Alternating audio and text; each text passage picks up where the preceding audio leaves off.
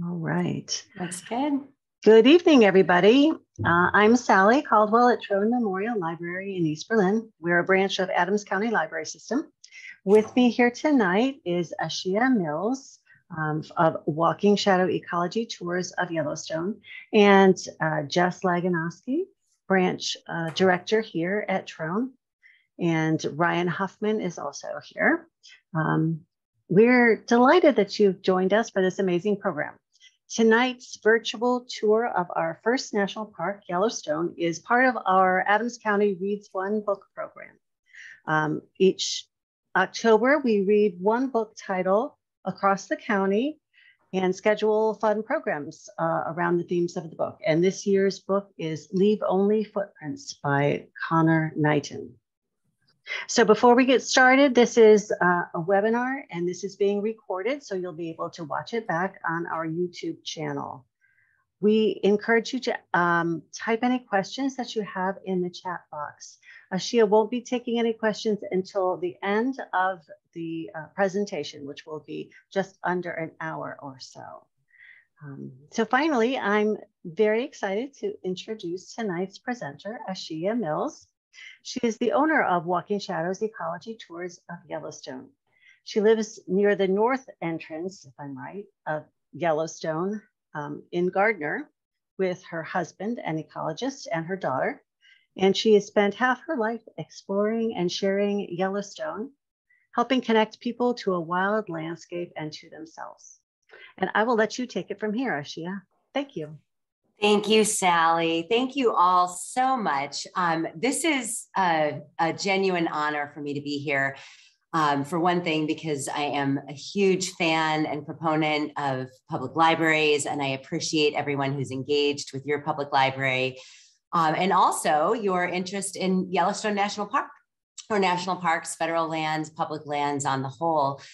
Um, so I'm going to go ahead and share my screen and hope that this all pops up like it should. Um, and uh, Sally or Jess or anyone just interrupt me if um, things are not going, um, if, if something gets weird for you. Um, let's see, we don't want that. We want to start our slideshow from the beginning. Let's see if that works. Um, and so, like Sally said, I've lived in Yellowstone for uh, going on 30 years. And I have been, um, let's see, your screen share is paused. Okay. Even doesn't matter how many, it's always a little miraculous to me that we managed to um, connect this way. So give me just a second here and hope that pops up the right way now. I don't know why it's not slideshow, resume slideshow. Let's try this one. Okay. How's that looking from your end, Sally?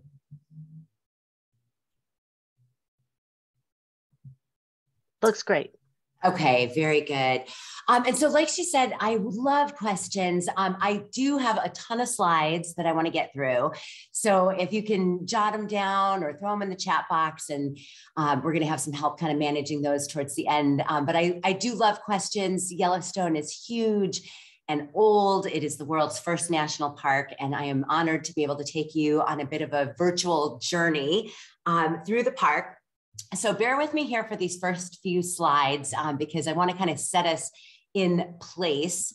Um, and so just for a sense of scale and where we are in the world, um, we are in the Northern Rockies, and you can see that orange box, that's Yellowstone Park proper, all 3,500 square miles, surrounded by the greater Yellowstone ecosystem. So the areas surrounding the park, and I'll talk about that in a minute, uh, but what I want to show you on this map is not just where we are on the continent, but particularly the fact that Yellowstone is home to some of the most important waterways in the world. So many people across the continent are connected to our snowpack, whether you're in the heartland, uh, over across the Missouri drainage.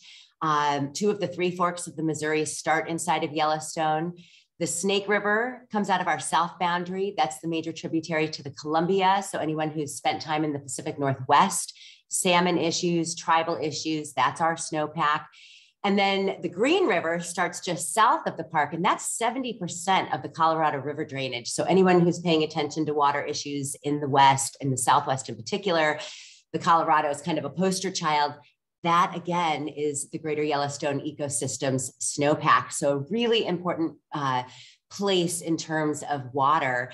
Now let's zoom in on that green kind of scribbly box and we're looking at the greater Yellowstone ecosystem. So the park itself is huge, um, and hopefully some of you have had a chance to be here in person. If not, put it on your list. Um, but we're surrounded by other federal and private and state and tribal lands. And altogether, the greater Yellowstone ecosystem makes uh, about 19 million acres, roughly the size of Maine. So it's an enormous uh, stretch of land. In fact, we consider it the most intact ecosystem in the temperate world. Uh, basically, all of the large mammals that we would have started out with in pre colonial times. So let's zoom in again on Yellowstone Park proper. This is the map they give you when you come in the gate. Um, and so you can see our five entrances um, from the south, the east, the northeast, the north, and the west entrance over in West Yellowstone. The north entrance is where I live. You can see that little town. It says Gardiner. There's a tent right above it. There's some campgrounds nearby. Um, some of you have been aware of the flooding that we experienced this year. Um, and that basically washed out the main road between Gardiner and Mammoth. So we've been using a temporary road this year, and that's been really um, exciting and interesting. And uh, very limited access guides are one of the few groups that can get in and out, but only on uh, very limited time windows. Uh, but you can see some specks there. Um, most of the park is in Wyoming. Um, but three of the five entrances are in Montana. So that's a big claim to fame. Just a tiny little corner in the state of Idaho um, but a tremendous amount of uh, mammals, birds, amphibians, and um, uh, lots of, of fauna as well. The main thing I want you to see on this map, I took the liberty of highlighting it in a Sharpie, is that sort of amorphous circle. That is the bowl of one of the largest volcanoes on Earth. That is the Yellowstone caldera. So if you could see that dimensionally, it would be a big bowl, and that is one of the largest volcanic systems on the planet. So we're going to take this map and flip it upright here on our next slide. So that green boundary on the last slide, you can see kind of that rough, uh, jaggedy eastern edge. Um, and then uh, rem remember the shape of that, that roughly rectangular shape, but how jaggedy that eastern edge is. I'll explain that here in a second. Um, now take a look at this and we're gonna see a different angle and hopefully that box will disappear here in a second. Um, the green box is Yellowstone. The blue lines are the state lines. So Wyoming to the south, east, Idaho, and then Montana up north. The red circle is our caldera. Look what our scientists think is below us.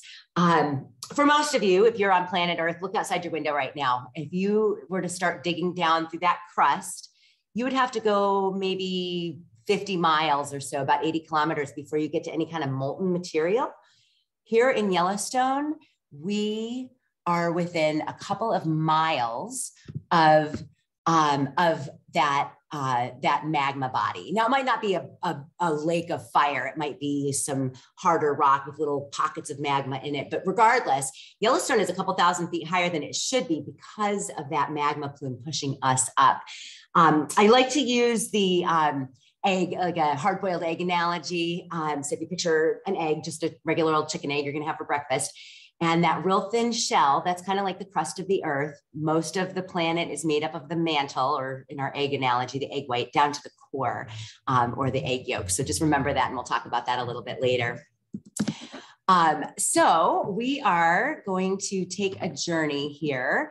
Um, we're going to jump on our trusty steed. That's our tour vehicle, Walking Shadow Ecology, like Sally mentioned. That's my very small educational tour company. And if you're ever in the neighborhood or have friends headed our way, we'd love to see you. And we're going to actually pop into the Grand Teton National Park because if you're in the neighborhood, you ought to go see the Tetons. They are an impressive mountain range. It is a separate entity, another federal National Park, but some of the tallest relief mountains in the world.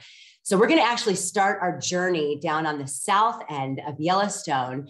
Um, I'm going to flip back to that map here real quick. Um, take a look at, there's basically a figure eight road system. So we're going to start down there at the south boundary. We're going to move north along the shore of Yellowstone Lake, take a quick run out the east access road, continue on north. Um, we'll make our way over to Old Faithful and then eventually up to the Mammoth Hot Springs area, Gardiner, Montana, and then over to the northeast entrance. So here at the south boundary, we're overlooking the origins of the Snake River, again, the largest tributary to the Columbia River coming off the western side of the Continental Divide. And as we're moving north, um, this is a lot of what Yellowstone looks like. It's not the big drama that's to our south with the Grand Tetons or up north in Montana, like Glacier National Park, because we are full of lava flows. So that bowl is not as deep as it once was. The last time the big volcanic eruption occurred was about 631,000 years ago, give or take a, a few days. And after that last eruption, lava filled in the bowl. So it's not as deep as it once was. And you can see here in the Lewis River Canyon, a tributary to the Snake, um, you can notice the, the fact that we have just sort of these rolling timbered hills and lava flows, mostly rhyolite lava flows. And um, along the junction of that caldera boundary, often we find waterfalls, hundreds of waterfalls across Yellowstone National Park, where two different types or ages of rock, one is going to be weaker and creates these, these uh, cascades. And a lot of Yellowstone looks like this. Um, sometime recently, some of you may have seen a meme floating around on social media that said, there's too many trees. There's nothing but trees. Uh, those are clouds, not mountains there in the distance. But this is a lot of what Yellowstone looks like. About 80% of the plateau is forested. Um, so it's not um, uh, a lot of big mountain views, particularly once you are in the caldera itself, in that volcanic boundary. You do cross the Continental Divide. It kind of cuts off the southwest corner of the park. Most of Yellowstone's water drains to the Atlantic Ocean, like you saw in that earlier map. Um, but even when you're on the continental divide, you know, you think of the, the spine of the continent, and really it's it's just rolling timbered hills, nothing, uh, nothing terribly exciting. But high altitude, we're up around average about 8,000 feet on the road system. Uh, the lowest elevation in Yellowstone is just above 5,000 feet. The highest is uh, 11,358 feet. So it does range uh, quite a bit topographically. And here we find ourselves on the shore of Yellowstone Lake and we're the, gonna see the first of our thermal features. And I love the name of the book that we've read this month about um, Leave Only Footprints. Unfortunately, I haven't read it. It's been on a wait list for my library um, and it has not come in in enough time. But um, Leave uh, Only Footprints refers to some of those leave no trace ethics. And um, we've changed our minds a lot on what national parks are and how we manage them and what we do in them. So you can see that old historic photograph. Um, the fishing cone is a hot spring. And back in the old days, they used to catch a trout in Yellowstone Lake, turn around and cook it in the hot spring. Um, we don't do those things anymore for one thing, because we understand how fragile these features are, but also we've found things like arsenic and mercury and such that you don't really probably want to ingest too much of. Um, take a look out there in the distance. This is in the spring, um, still a little bit of snowpack out there. And you can see that ridge line. That's that eastern boundary line. Remember, I showed you how jaggedy that eastern boundary line is. And that's, that's why it basically follows the tops of those mountains. Um, because it's spring, the water level in Yellowstone Lake is quite a bit higher. So you can see from that historic photograph that would have been later in the season when you have a little more exposure. Um, the West Thumb Geyser Basin, where we've found ourselves, is evidence of that giant volcano. Um, another food analogy is uh, an apple pie. Before you put it in the oven, you have to do something, or a baked potato. It's probably the more modern day analogy. Before you put it in the microwave, you have to poke holes in it right? You have to pierce the skin or the crust, otherwise it blows up, makes a big mess. We have fork holes in Yellowstone helping to release some of that heat and pressure from our magma plume. And that's what we're seeing here a hot spring, um, generally hot water coming up from underneath, pooling at the surface and spilling out. And we'll talk a little bit more about these colors down the road and some of the dynamic nature of our features. The incongruously named black pool um, was black or darker, at least when they named it. And like I said, we'll talk a little bit more about these colors, but West Thumb Geyser Basin is one of my favorites among many um, because it is right there on the shore of Yellowstone Lake. So continuing north, Yellowstone Lake is enormous. It's kind of a surprise to find it. Um, we call it the largest alpine lake in North America. Lake Tahoe is technically a little bit bigger, but it's a little bit lower but about 141 miles of shoreline if you were to walk out the car right here and traverse the entire shoreline. Um, look right in the center of the mountains, kind of the bottom center of your screen. There's a flat top mountain we're going to go take a, a, quick jog up Avalanche Peak in a little while. Um, but an extraordinary scene, uh, idyllic, quiet, peaceful. If you were to drain out Yellowstone Lake, you'd probably have the largest geyser basin on Earth under the water. But it does freeze over every year. Um, this is right at the beginning of our uh, breakup, about six months of the year, Yellowstone Lake, that enormous area covered with ice. Our first glimpse of the Lake Yellowstone Hotel, which is uh, very different from a lot of the lodges in Yellowstone. Mostly they're sort of more rustic style. Um, the Lake Yellowstone Hotel used to be uh, an old, kind of boring clapboard railroad structure. All of our early hotels were built by the railroad, which had a lot of pressure to actually create the park on the whole. Um, the railroad companies wanted a destination as they were building the Transcontinental Railroad. And in fact, the first senator uh, who introduced the bill into Congress way back in 1871. Um, it was signed into, into being in 1872, was a railroad guy um, from Iowa. So uh, about 1903, a fellow by the name of Robert Reamer, we'll, we'll visit him again down the road, got his hands on the Lake Yellowstone Hotel and turned it into this grand lady of the lake. Uh, this is one of the finer uh, establishments in the park. You, you can listen to the string quartet of an evening. Um, they're there for about six weeks out of the summer. And rooms here are pricey. Um, these are probably the highest prices in the park. Um, you can get a, a room for five or six hundred dollars, cabins for about half that, um, all the way up to if you want to treat yourself to the suite. Um, but it's a, a, lovely place to sit, have an evening uh, adult drink, and listen to the quartet um, and now we're going to shoot out east across the fishing bridge. Um, again, somewhat incongruously named now. This is what it looks like these days. Um, but this is what it looked like for most of the early park history. Again, with our leave no trace ethics, um, we do still allow fishing, but what we discovered was that the largest um, nest, uh, uh, gra- uh, spawning grounds for our native cutthroat trout was right below this bridge. And so you'll see historic photographs of people with like 30, 50 fish on a line. Um, we don't allow that kind of fishing anymore. Most of it is catch and release outside of an exotic that was introduced um, back in the 90s, unfortunately, that has done a number on our native cutthroat trout, the uh, non native Mackinaw or lake trout. Um, so, one of the most important things about Yellowstone and about national parks is that as much as possible, we're just trying to let the natural process take place. We're trying not to take things out or put things into the ecosystem. And that does include things like exotic weeds, invasive weeds, or other types of species. Um, so you would not see this scene these days, fortunately. Um, turning around behind and looking out, um, there's about 156 inlet streams into Yellowstone Lake and only one way out, and that is the Yellowstone River. So we're going to follow the river a little bit later. But first, let's head out for a short walk. We're going to go for a short walk out to Storm Point. And anytime that we take a step off of or out of our vehicles, we are in bear country. Um, again, with our leave no trace ethics, planning ahead and being prepared, knowing your route, knowing the weather. Um, Storm Point is called Storm Point for a reason um, being aware of being in grizzly country um, anywhere that you go in the ecosystem. And so there's a couple of rules. One is just always being on the lookout. The number one rule in bear country is make noise. If they hear us coming, generally they're going to get out of our way. I have had some bear encounters. It's always been my fault when I'm not paying attention and not making enough noise. I do carry bear spray. Uh, never had to use it. Uh, my husband did once. That was a kind of an exciting story. And they do say to t- travel in groups of three or more. There's never been an attack on a group of three or more. Um, but today it might just be us that wanders out.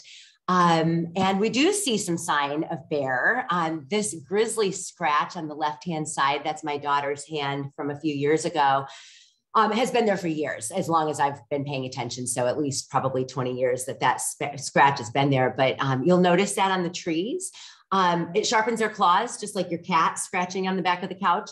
Um, also, scent marking. That's another way that, that bears will let other bears know about their territory.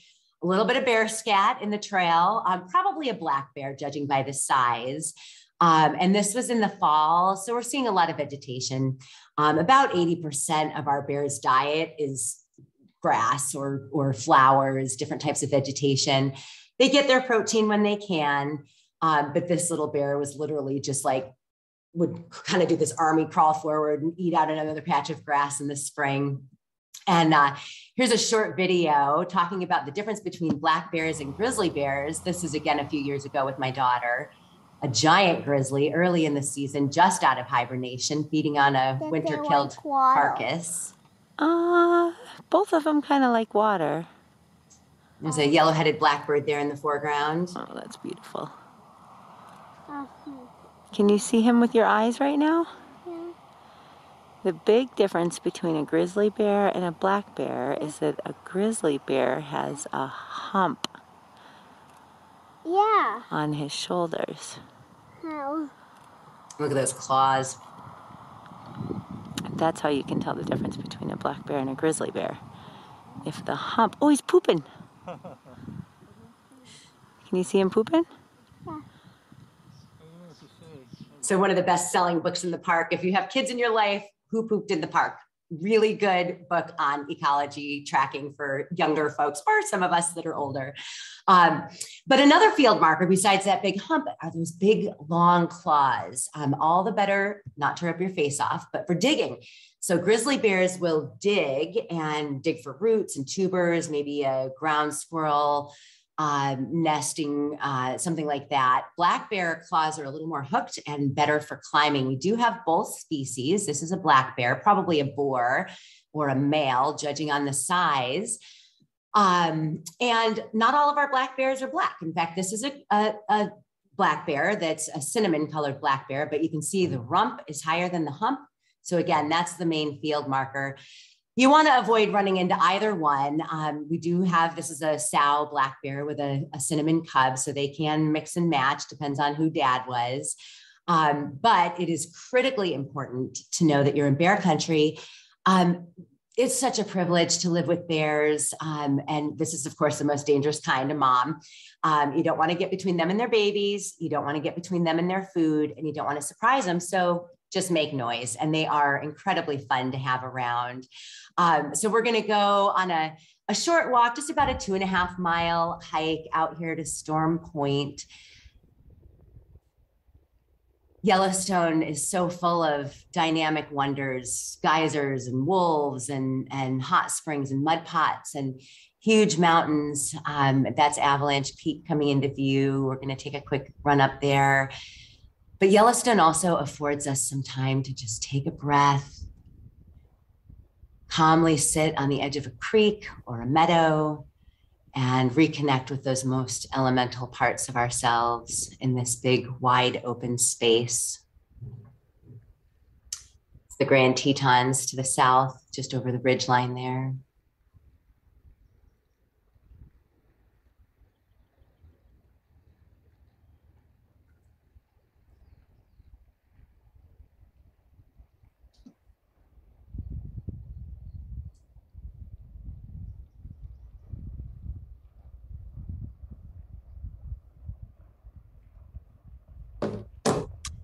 Let's go follow those hikers as we traverse the trail back into the woods.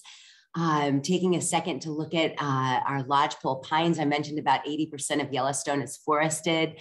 About 80% of those trees are a single species, these tall, stately lodgepole pines. And then let's take a quick run up a mountain because that's one of the reasons why I stayed in Yellowstone. The uh, the power of being up in these high spaces and looking around and getting these novel views. That's looking down the road back towards Yellowstone Lake. And of course, one of the most special things about being in this uh, subalpine tundra land are the wildflower seasons. Um, Yellowstone is actually known for its wildflowers. Um, mid June to mid July is really the height of our wildflowers. They don't get very big up here on these high 10,000 foot peaks. Um, but we have so many different species, and it is just a riot of color. This is the official park flower, fringed gentian. Um, all different species, different times of the year, many of which are food. Um, something like the sego lily is an important indigenous food source, as well as bears will eat a number of these. I love those elephant heads. Um, they, they just look exactly like that when you get down nose to nose with them. and some more common species that you might have in your own yard, lupin, bitterroot, Montana's state flower, uh, kind of a high desert plant.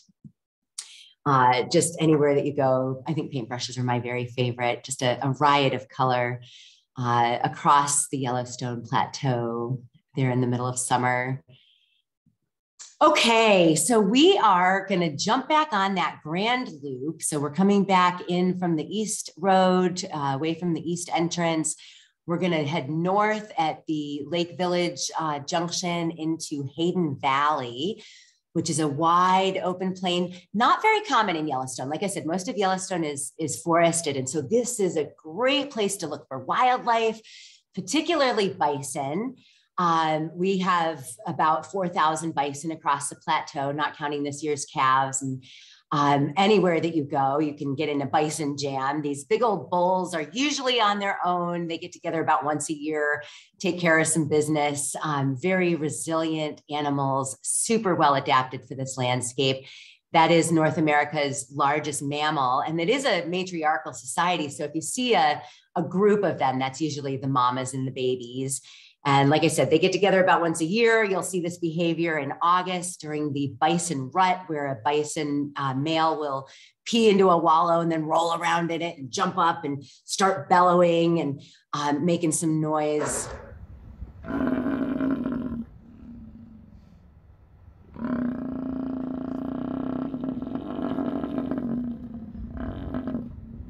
The Yellowstone dating scene.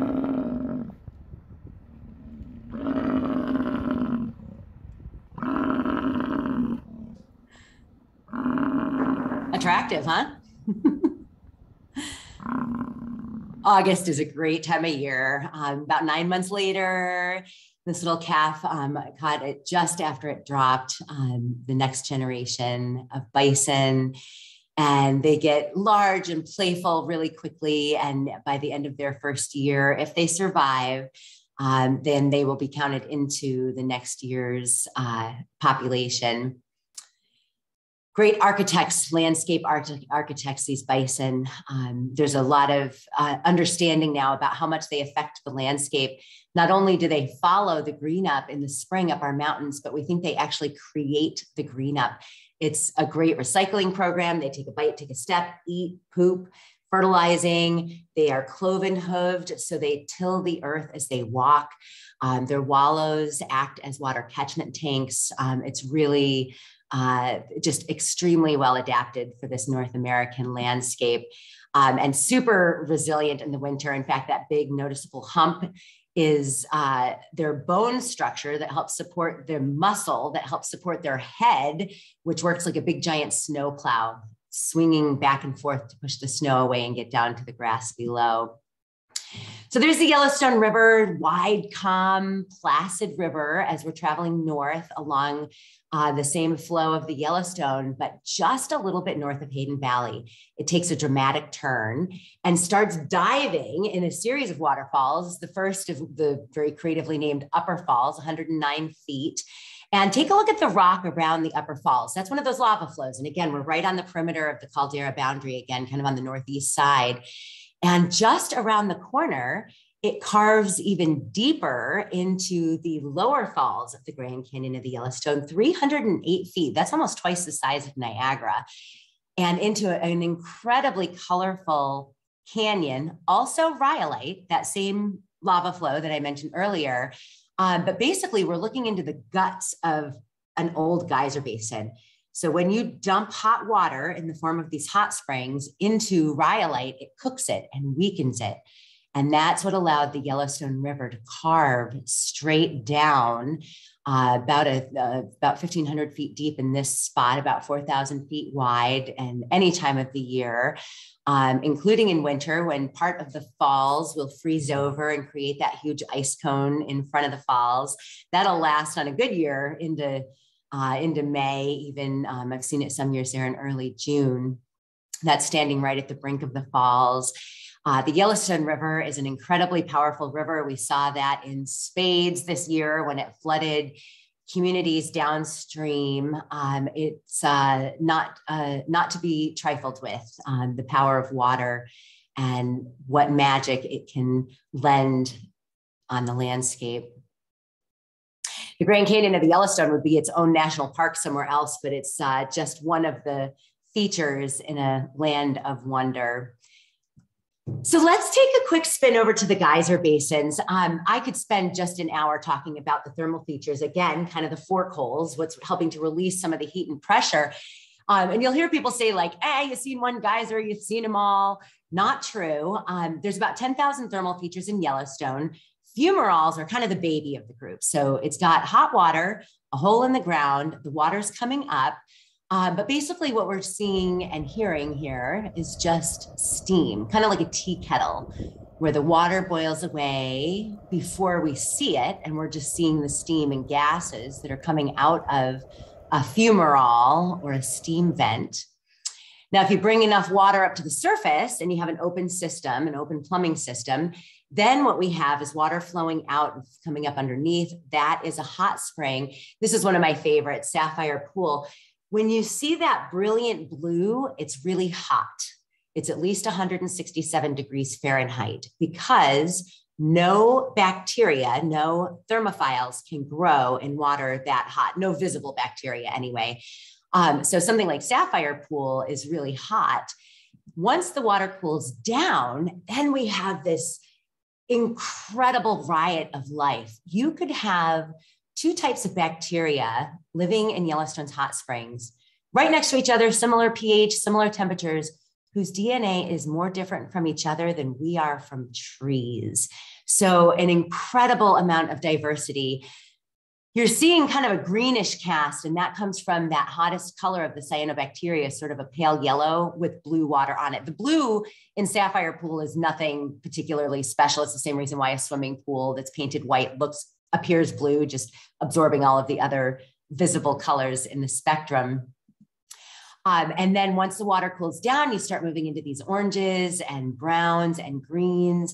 The science that comes out of Yellowstone's hot springs is literally endless. Um, every time we look, we find a new creature that's never been documented on Earth. Um, we have things like uh, how many of us have gotten COVID tested, right? Uh, the, the PCR test that you know about. That technology came out of Yellowstone's hot springs. Uh, back in the 60s, a guy named Dr. Thomas Brock discovered a, a little creature, an organism called Thermus aquaticus. Uh, about 20 years later, a Swiss pharmaceutical company was looking for a heat stable enzyme, extracted Taq polymerase out of Thermus aquaticus. When you mix Taq with DNA, it replicates it. That that changed how we do business as humans. That was a huge impact on pharmaceuticals, medicine. Now, back when my husband was doing his work, it would take weeks to do the Taq polymerase chain reaction or PCR. Now you can buy a pocket kit and do it in 10 minutes, which we know, right? A lot of us have done the home COVID tests. Uh, if you're watching a crime show uh, on TV and they find a little spot of blood, um, that technology um, to figure out who done it came out of Yellowstone's hot springs. And we might have cures for the common cold in this bacteria. Um, the, the science behind this is literally endless. Um, microbiotics, the smaller we look, the more of the universe opens up to our eyes. Um, speaking of which, um, interesting, if you can see kind of that texture, sort of a coral looking texture, that's the way that the silica, which is the mineral that the hot springs are made out of. So remember those rhyolite lava flows. You've got water flowing up and dissolving some of that silica through the lava flows, depositing it here at the surface. And the way that the mineral builds up in the presence of this life, of these microbiotics, creates a certain biosignature that NASA has studied because we know there was water on Mars. And so when they sent their rovers over there, or Perseverance, say, trucking around on the surface of Mars, they're looking for rock that looks like this because this could denote the presence of life. These bacterial mats are literally the primordial slime. Um, early Earth would have been super toxic. And then all of a sudden, very quickly, we had this oxygen revolution where we had an oxygen rich atmosphere. And that this is what did it. These um, these uh, the cyanobacteria began to colonize. It's photosynthetic. Its byproduct is oxygen, and that's what gave Earth its oxygen-rich atmosphere. Grand Prismatic Hot Spring. Many of you have seen photographs. Of course, the best view is uh, elevated view. You can see a bison there for a sense of perspective. Uh, the third largest hot spring on Earth. Um, so we've got fumaroles and hot springs, and then we have the mud pots, which are my favorite. This one I threw in because it's October and it looks spooky, doesn't it? Doesn't that look like the scream? you never know what you're going to get when you um, when you take pictures of mud pots. Um, they are very dynamic, still all of the same ingredients. You've got the heat from the magma plume, you've got the, the water coming up from underneath that fell as rain or snow, which just takes some time. Um, when we've looked at Old Faithful's water, it's about 500 years old that it fell as rain or snow. Um, and then it percolates up, dissolving some of this silica. Now, mud pots are a little bit different. They have more acid, and there are actually living creatures in here. Um, the uh, the these uh, acid-loving uh, sulfolobus bacterium eat elemental sulfur. Their byproduct is sulfuric acid. So you don't end up with a nice hard shell like you saw on some of those earlier hot springs like Sapphire Pool. Instead, it's kind of this goopy mess. It looks like it's boiling, not actually boiling, it's just gas vents. When I have the kids along, we talk about big giant earth farts here. Characters though. Um, and then geysers and geysers are a little bit different. Um, all the same ingredients the the plumbing system the um, the heat the water um, but a tighter plumbing system. So if you have a hole in the ground that goes down towards that heat source you have a constriction like throwing your thumb over a garden hose and then you get this eruption now that's old faithful in the distance beehive in the foreground is a cone type geyser. And just look to the left there and you'll see um, indicator, which is an indication of beehive getting ready to go. That indicator geyser is just sort of spewing out. It never goes very high, maybe 15 feet or so. Um, beehive geyser, when it goes though, can get up to 150 or even 200 feet. It is literally like a fire hose and powerful. Um, here, again, you see that silica buildup, uh, those deposits, very slow, uh, like maybe about the thickness of your fingernail every year, depending on the rate of flow. But in those bacterial, uh, along the silica, there's uh, some tracks, some coyote and wolf tracks there. Um, that's obviously in cool enough water that they wouldn't burn themselves as they walked through. Um, sometimes we get that silica buildup to dramatic proportions. Castle geyser, so named because it looks like the ruins of an old castle uh, probably one of the oldest geysers um, in the world, and certainly in Yellowstone. We think that's been erupting at least since the end of the last ice age. Lone Star geyser, similar situation. And I love my rainbows. Um, you get the right angle on a geyser, an eruption with the sun at your back. And uh, as magical as this landscape is, it, it just even lends itself to that much more riverside geyser that erupts over the Firehole River. There's a sawmill, um, which had gone inactive for a few years and then kicked back up. And you can see the old faithful in there in the distance. And uh, just to get a sense of the scale, the power of an erupting geyser, this is Fountain Geyser, uh, a fountain type geyser. So just a big hole. Um, it doesn't have the constriction at the surface. So it's just erupting out in all directions. One of my favorites.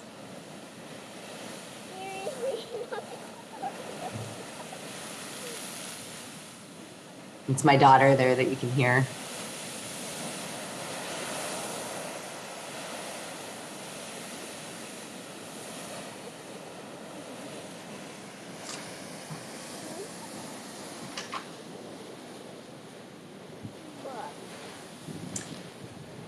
Jet geyser behind us erupting at the same time.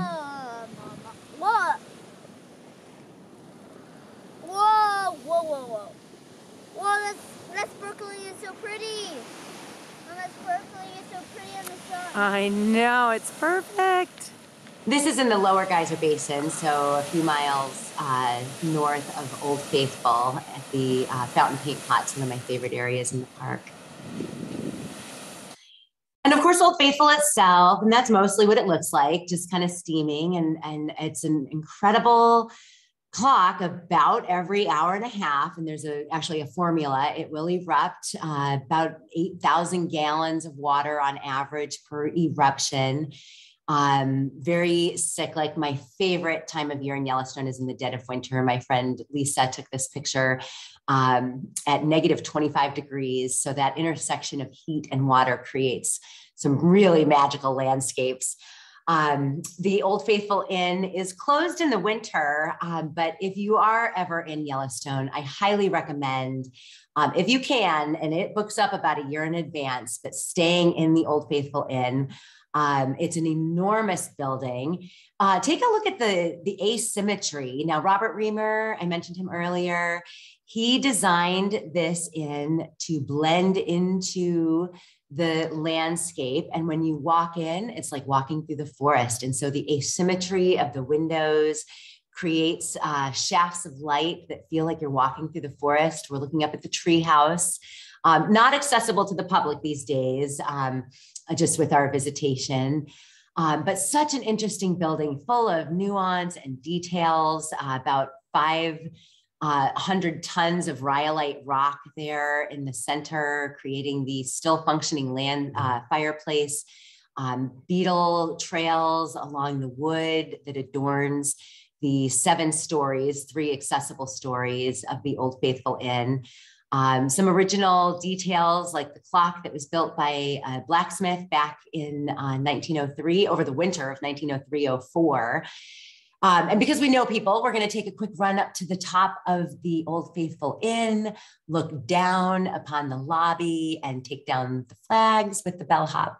Great view of the Old Faithful area. Maybe have a drink in the bear pit, listen to my friend Martha Colby on her cello or piano with drink in hand in the evening. Um, unlike any other hotel that you will stay in, a very unique and precious building uh, the Old Faithful Inn. If you do have the luck to stay there at night, um, anywhere in Yellowstone, make sure you take a walk out. Oh, our night skies are unrivaled. Um, even even in the developed areas, just walk away from the buildings for a quick second, and you will find uh, magic, the heavens at your feet. Um, okay, we're gonna continue north, and thanks for keeping up with me on this fast pace. It's hard to know what to take out because there's so much going on in Yellowstone. Again, 3,500 square miles. There are a thousand square miles just inside the bowl of the volcano. Um, but we're gonna go up. You see where it says Madison. Um, we're gonna shoot north along that road system and hit a few sites along the way, including Gibbon Falls, another one of our hundreds of waterfalls. And a quick stop at Obsidian Cliff, um, not just because it's interesting, it's an old lava flow similar to the rhyolite, but it cooled down very quickly and created that volcanic glass. I want to take a second to mark this location though, because we have found obsidian from this exact cliff, not just in Yellowstone, but as far away as Ohio and Georgia and in your neighborhood, if you're in uh, Adams County um, as far away as the East Coast, evidence of trade networks. This is some really high grade obsidian. Um, that spear point on the right is an old, the one with my hand is an old Clovis spear point. That, by the way, would have been um, whoever was using that spear point would have been hunting things like woolly mammoths. So um, a lot of history in Yellowstone that unfortunately um, has been uh, for the last 150 years. We're in our 150th year anniversary of the park's inception. And the tale of the Native people has been largely obliterated. Um, we used to talk, and we do still, about the one group that we know that lived in the area, at least seasonally, the sheep eater or the Tukudika. They would use every part of the sheep, the same thing that you've heard about bison for clothing and tools and, and shelter uh, the Tukudika, uh, an Eastern Shoshone mountain band, would use from a bighorn sheep.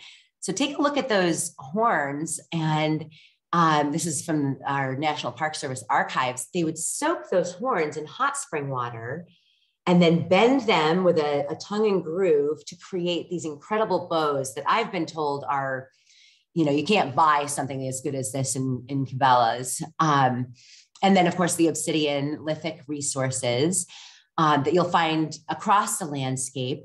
Um, but for a lot of Yellowstone's history and, and a lot of our national park history, it was sort of relegated to dusty history books and a lot of inaccurate information. And I am here to tell you that these people are still here. We have 49 tribes that are associated with Yellowstone. They've only recently been invited to the table. This has been a very important year for that. You can see the Crow Nation, Apsáalooke, that's their uh, the Crow people name for themselves, the Apsáalooke tribe, that um, of which Yellowstone used to be part of reservation lands back when it was 30 million people. Powwows in the area are a great way um, to get to connect with some of that culture, and we do have a number around the area. But it's also critically important to remember that these people are still here. Now, this was last year. This was the first time in 2021 that a teepee had been erected in Yellowstone in 149 years. We had a ceremony right in front of the Roosevelt Arch. You can see Park Service personnel. This was a, a very big moment of recognizing our Indigenous history and culture. This year, we had Mountain Time Arts, which is a local uh, Indigenous arts council, um, actually erect a teepee village inside of the park. This was taken on a virtual tour that I did on location. So this is down in the town of Gardiner, looking through the arch at this village. Um, Bill Snell, who set it up, um, illuminated them in the evening. This is a very powerful moment in our history to have this presence. They've they, you know the restoring the presence they've never left um, but to be so welcoming and to include these voices is of the utmost importance. And i really think that uh, those of us that are engaged in our public lands have a role to play in that in making sure that uh, we are being inclusive in our uh, telling of the national park history. That's National Park Mountain behind these teepees here at Madison Junction this past summer, um, where sort of the story of the national park genesis came from. Um, and like I said, obliterated the presence of Native people. And so I'm so proud to be a part of this time in history where we are uh, telling ourselves the true story and um, and uh, sort of revisiting some of those falsehoods that have created the narrative of our national parks and public lands. Um, elk, most common mammal in Yellowstone, uh, somewhere in the neighborhood of about 15,000 or so uh, across the park. Bull elk, of course. Um, this time of year, you can hear them out there bugling. Um, earlier in the season, you would start to see their antlers growing, some of the fastest growing bone on the planet, um, two to three inches a day, or I'm sorry, two to three centimeters a day at the height of the growing season when they're in velvet, external blood vessels that are helping the bone to grow so fast. And they will drop and regrow every year. And again, with our leave no trace ethics, leave what you find. Um, and uh, these are important resources out here. Everything gets used. Um, on this antler, you can see a little animal has been gnawing away. That's their calcium source. So even though you can find a $10,000 elk antler chandelier down in Jackson Hole or Bozeman, um, we don't take things like that out of the park. And of course, those antlers are used to create the next generation. Um, elk calves dropping like crazy in the spring. Um, but uh, for about 70 years, these guys had a little bit less to worry about until 1995 when we brought wolves back to Yellowstone. Now, again, with our leave no trace ethics and trying not to take anything out or put anything into the ecosystem, we took wolves out. And if you look over in the right side of your screen there, you can see a black wolf and those elk. If you ever see elk, ears up, paying attention, not just lounging around eating, look around. Um, that's a good way to find predators. And so it was a long process um, going back to the early 70s when the Endangered Species Act was passed. That gave some teeth to bring the gray wolf. Um, we went up to Canada and captured some of what had been native uh, species in Yellowstone. We know that for a fact. It's always been the gray wolf by species name. Um, but we brought some wolves down from Canada for a couple of years running um, a, a, release process uh, in pens for about two and a half months before we released them into the wild. And I got here about four months after the wolves did. Um, it's been an extraordinary journey the last 28 years or so of having wolves on the landscape, watching a leaner, meaner elk herd, and absolutely watching a much more wild space um, be revisited. Uh, watching wolves is so much fun. It's one of the primary parts of my job. Um, I love this picture because you will see ravens without wolves, but you never see wolves without ravens. In fact, that we call them wolf wolf birds. Um, they follow the packs around, and we think the packs actually follow the ravens around too, because sometimes that's uh, aerial reconnaissance. They might find a carcass before the wolf does. Um, and it's so much fun watching these guys interact with each other and with other species this was a yearling um, out in Lamar Valley, and I just this picture cracks me up. That's probably about four thousand pounds of, of uh, a couple of bull bison looking at this guy, going like, "What what do you think you're doing?" and the wolf looked around and went, "Yeah, that, that's not a good idea." It turned around and walked away. Um, this is at a carcass where you'll see hawks, wolves, bears. No, just walking in. Walking by. They do interact. In this case, the bear had had its fill and the wolf was moving back into the carcass. Um, we're going to wrap things up here in the next few minutes. But a quick stop at the Mammoth Hot Springs, which are another set of thermal features, uh, similar to some of the ones that we saw earlier, but different mineral if you were in Yellowstone a few hundred million years ago, you would have had to have had snorkeling gear. You would have been in a shallow inland sea. And eventually, seashells developed. Those seashells would have fallen to the seafloor and layered in and created layers of limestone.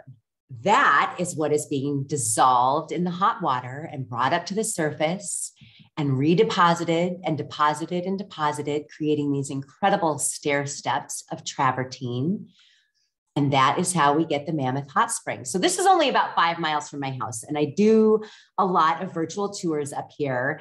Um, again, with the, the bacteria and the colors that you'll see different times of the year, a little bit of snow on those branches to the left, intersecting with hot water. Um, just an incredibly dynamic landscape um, but a lot more limited access this year. Um, that's an old extinct hot spring cone. Um, also in Mammoth is the old Fort Yellowstone. So uh, it looks a lot different. This picture was from 1910. Um, back in the early days, we didn't know what a national park really was. And there was a lot of vandalism and a lot of poaching. And eventually, the United States Army moved in in 1886. So the park had been established for about 18 years or so at that point, um, to restore order. Um, eventually, the National Park Service was created. So, Yellowstone National Park is actually older than the National Park Service.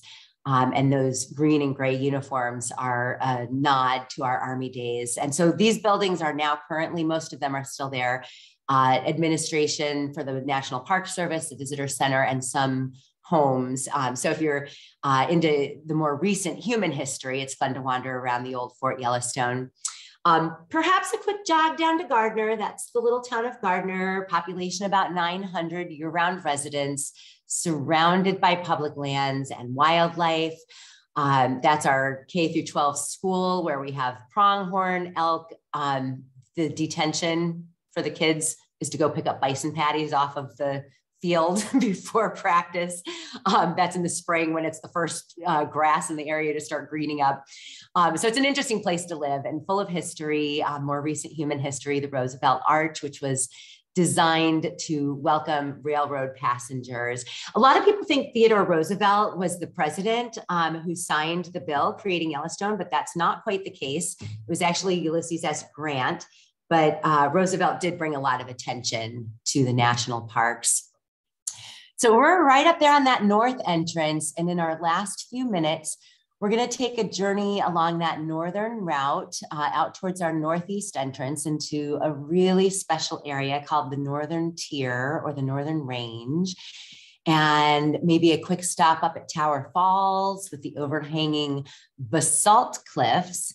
Um, I mentioned rhyolite lava flows, obsidian, which is a type of rhyolite lava flow. And then we also have basalt so, as you might guess, most of our rock is igneous. Um, that's me towing my daughter, probably, gosh, eight years ago or so now. She skis on her own these days um, along what is a ski trail in the winter. Um, but you can drive straight over to Tower Falls, again, one of our uh, magnificent waterfalls, uh, hundreds of them all around the park, many in the backcountry. uh, not just on the roadside.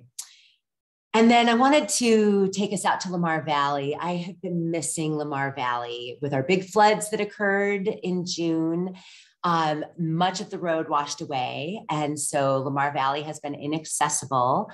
Um, I like to think of the wildlife out there getting a break from the traffic, and it's all good. This landscape will endure long beyond our roads and, and vehicles and, and our management decisions at the moment.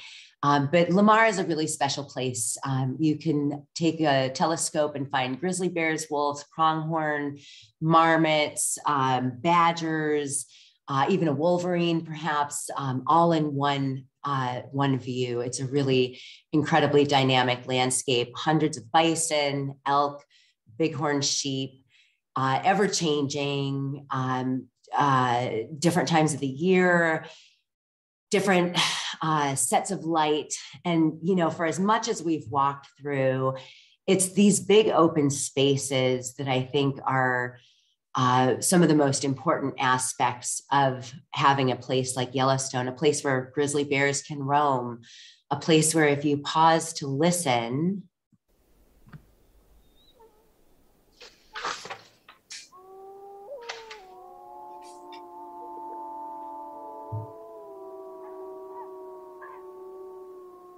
You might hear some wolves howling. Literally, the call of the wild.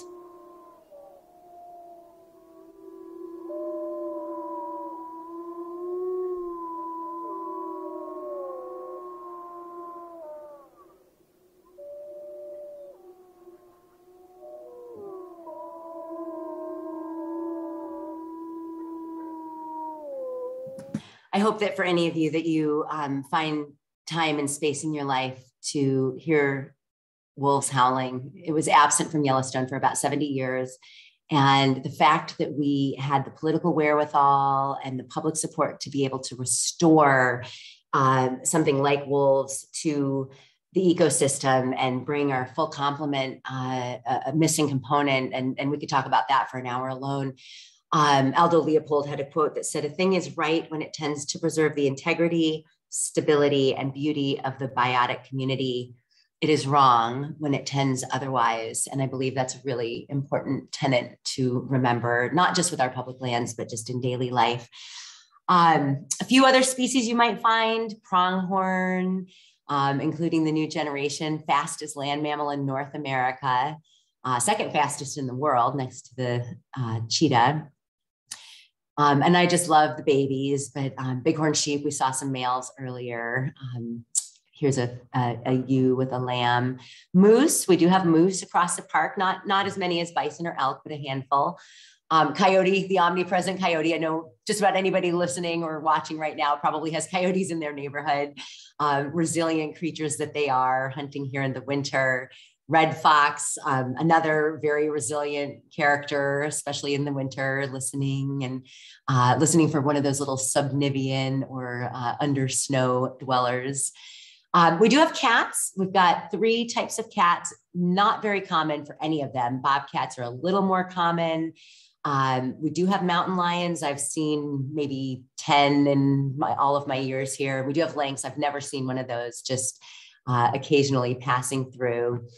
Um, and then, of course, our smaller animals, things like marmots and red squirrels chattering at you from the trees. Um, so sometimes it's not just what we call the charismatic megafauna, but this little guy, I was out skiing and saw this dark spot on the snow a couple of probably, you know, 50 feet away. And kept getting closer. And what is it? You never see them.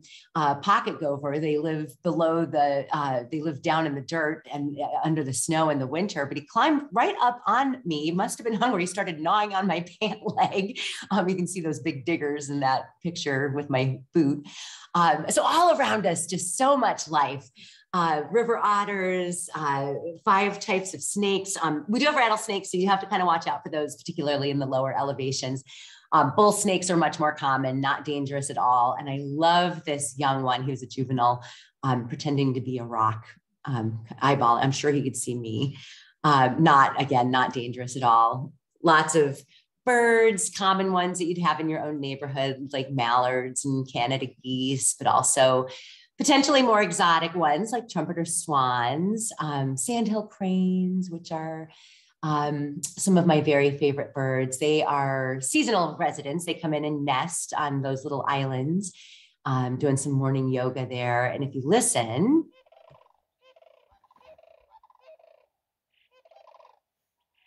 that chortle, a call of the sandhill crane. You can hear one in the distance answering. And then eventually, again, the next generation um, of sandhill cranes. American white pelican, the largest nesting ground um, for the American white pelican, which you think of as more of like a, a coastal bird, is actually in Yellowstone Lake.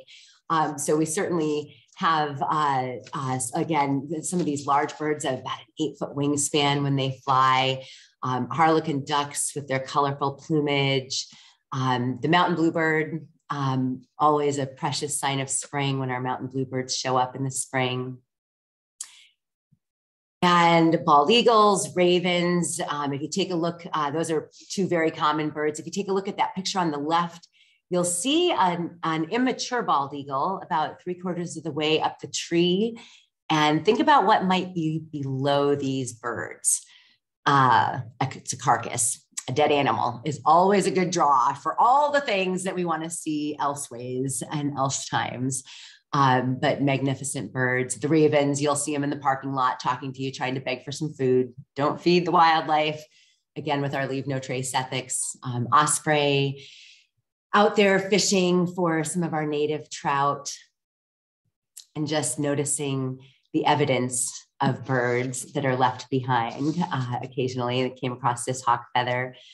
Um, and so, up in the air, um, in the thermal features around the landscape, um, Yellowstone is just full of life. Um, everywhere you look, this lichen that grows in clean air, uh, both tree lichen or rock lichen, like what we're seeing here. Um, it's full of life, um, full of patterns. I, I love taking photos of uh, tracks in snow um, or just even close ups of different patterns that you might notice in the natural world. Uh, this snow roller, uh, some tumbling down the hill and creating what looks like a delicious uh, edible. Um, patterns in our water.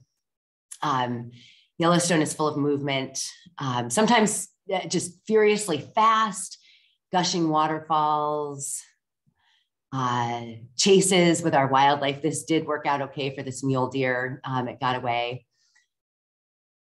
Sometimes the movement in Yellowstone is infinitesimal and just barely noticeable watching a moon set over Electric Peak just down the road from my house. Yellowstone is old and wise. When you see these bison that are so well adapted to the landscape, that's a good reminder of that.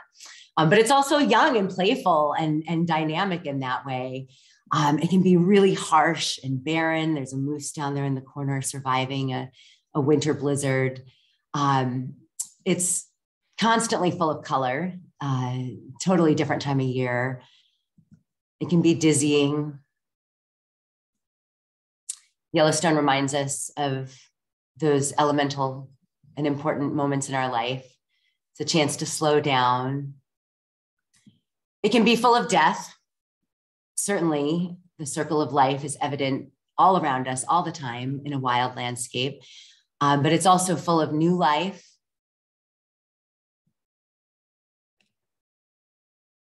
Yellowstone is endlessly vibrant. It's endlessly bright and endlessly powerful. I appreciate all of you so very much for coming on this journey. And I think I went a few minutes over. Um, Sally, if you tell me that we are um, still there, I will um, stop my screen share. Actually, one more photograph. This is my favorite time of year is the dead of winter and the dead of calm. That's Mammoth Village. Um, that's my information. I do want to take some questions. Um, but if I don't get around to answering a question, feel free to follow up with an email. Um, I love connecting with participants and people that are interested and curious about our public lands and Yellowstone in particular. Um, it's a it's a precious backyard, but I'd love to um, connect with any of you that would like to afterwards as well. Wonderful. Thank you so much, Ashea. That was fascinating and beautiful. Um, I think we do have a couple questions here. Um, Amy asks, can the upper and lower falls be seen from the road or is a hike required? Nope, fully accessible, um, including uh, for all all abilities. Uh, you park in a parking lot, a short walk to either, and there's a number of viewpoints for the lower falls, uh, a couple of viewpoints for the upper falls, but very very easily accessed on the Grand Loop Road. Great. Uh, Janelle asks, did the railroad tracks go through the arch or was the arch just to look at as you rode by? That's a great question. Nope, they came right up to it. Um, not actually through the arch itself. Um, in fact, that arch is a little bit incongruous because it's this large man made structure uh, to some extent, and it was part of that railroad philosophy. Um, there was an idea of wanting um, a, an appropriate entrance, you know, a strong statement on the landscape. We probably wouldn't build it these days because it's not a very natural part of the setting, even though it does use native basalt. Um, and so the railroad tracks came right up basically in front of it, what is now Arch Park. Um, the old depot building is our little library, actually, um, in Gardiner. Um, and then the school. So there's photos of the school with the wildlife on the field. That's just right beyond it. So um, the turnaround was right there. And the, the railroad made it to Gardiner, near Gardiner by 1886, but not right up to Arch, what is now Arch Park until 1903. Okay. Um, there's another question. Are there any wild horses or burros in Yellowstone? Great question. No, not inside of Yellowstone.